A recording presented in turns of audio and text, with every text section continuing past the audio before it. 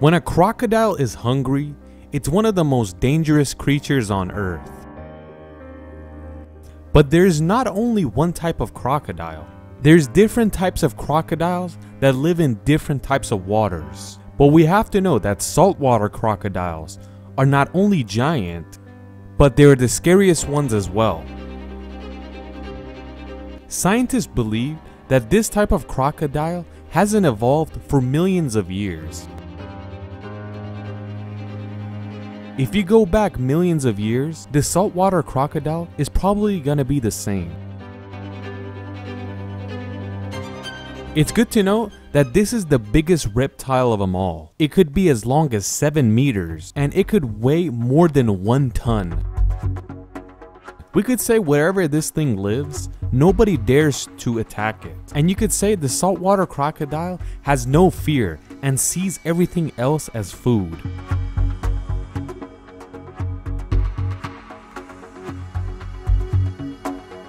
Do you want something more dangerous than shark in water? The saltwater crocodile has defeated sharks before. The unique thing about the saltwater crocodile is that it sees human as food, not danger. And it's good to know other powerful animals sees humans as a threat rather than food. And if they want to attack, they will. You could say this crocodile doesn't really like to move around for food, and it's considered an opportunist. It camps somewhere and waits for the prey to show up. We like talking about crocodiles so much, we forgot about the main point of the video. But this video, this guy plays an important role because we want to talk about the Ramree Islands Massacre, an island that's located right here this island is located right next to Myanmar and during World War II, this place was called Burma and it was in the hands of the Japanese army and it's in the middle of the war. The year is 1945 and the Allies want to take over this island. There was a lot of Japanese soldiers on this island and anything that was edible, these guys would eat it. It's also good to note that this island is filled with saltwater crocodiles, and the Japanese soldiers are eating all their food. The UK was one of the allies, and their plan was to take over the island. The plan was to attack the island from far away in the water with a destroyer, so the Japanese would fall back, and the attack by the British did exactly that. The Japanese fell back, and the soldiers are going where the crocodiles escaped, and they escaped to find more food because the Japanese were eating them all.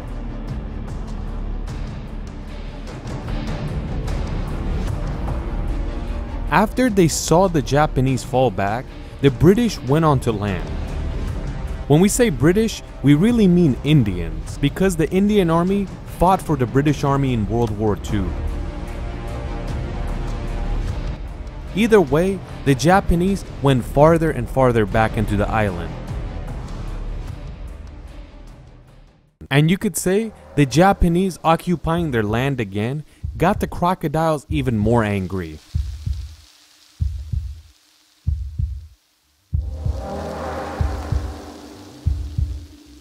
From the other side of the island, the Japanese got to their navy ships and ran away. And from the other side, the British army was moving forward. One of the Japanese commanders decided to go through a swamp and run away. A swamp that was 10 kilometers across. This genius of a commander took 900 of his soldiers through the swamp. I don't know what this guy was thinking, the crocodiles don't matter. This swamp is filled with venomous snakes and different disease carrying mosquitoes. And next to all this danger, there is a lot of saltwater crocodiles that are extremely hungry. Like we said, these crocodiles are opportunists. They see the soldiers enter the swamp, and that is why they don't move. Just like we said, they camp until the food gets to them. And they were getting happy because 900 hamburgers are just walking across the swamp.